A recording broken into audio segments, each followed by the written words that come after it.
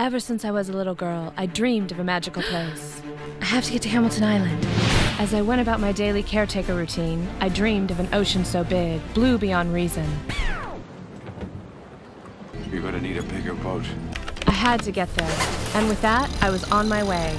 Had I made it to my magical place? Oh, God. Looks like a hatch. The hatch? Where are we?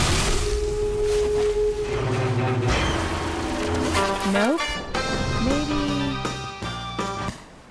What is that? Anybody?